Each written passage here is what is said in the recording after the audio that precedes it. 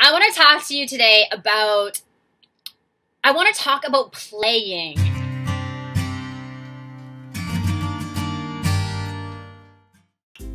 Hey guys, I hope you all are doing amazing and having a great Tuesday.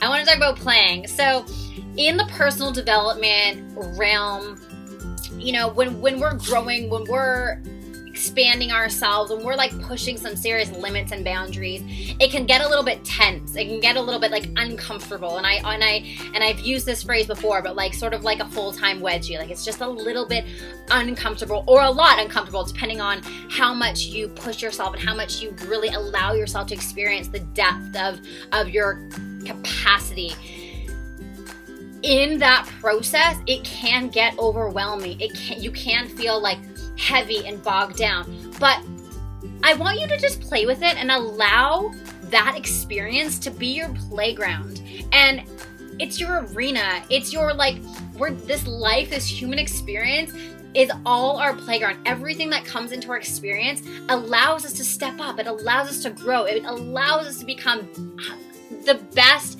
most authentic versions of who we are if we allow ourselves to dance and play with that pain, with that thing that's challenging us. So rather than saying, oh my gosh, here's another, here's another challenge, or God, this again, and, and stepping into victim mentality, whether that's in our relationships or our business, allow yourself to say, oh, cool this is another chance for me to play with my level of my, my, limits this is another chance for me to dance with this with this pain and this challenge and see what can come out of it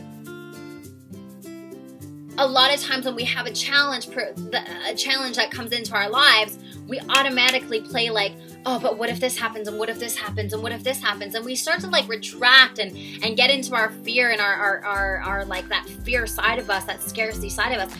But if we can just play with that experience and we can play with that challenge and approach it from like an abundant, powerful place and say, you know, what if this comes and I and I you know, there's a side of me that comes out that I, I didn't know I had. There was like a certain power that that's that gets emulated and it interacts with this challenge, and I actually really grow from it. And then I get this result. And if we can just like condition ourselves to be proactive when those challenges come up and like prime our mind to say, you know, we're just playing. We're just seeing how far we can really stretch ourselves because where like every single person on the planet right now is living under the potential. We have no idea how powerful, incredible we all are. We all are. And even the highest achievers in the entire world, they still have more. They still have more to, to, to give and to grow and to contribute and to become become better. And allow those challenges to be playful. Allow them to just be, you know, part of your learning experience. Like approach it with like a curiosity. Like, I wonder what I'm going to learn from this. I wonder, you know, how much I can grow from this. I wonder how painful this is going to be. But then I wonder how much access I'll have into my light. We cannot experience the lightness without dipping into the darkness. So approach it with light, love, and playfulness, and let me know how it goes. Mwah! Love you all. Happy Tuesday, and we'll see you later.